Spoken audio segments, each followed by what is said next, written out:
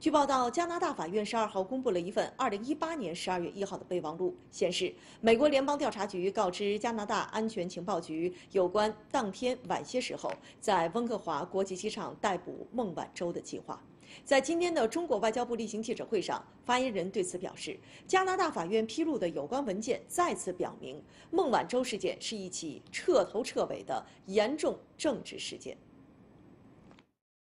加拿大法院。披露的有关文件再次表明，孟晚舟事件是一起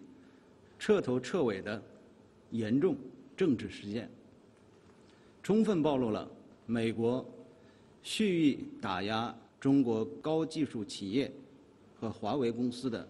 政治图谋。加拿大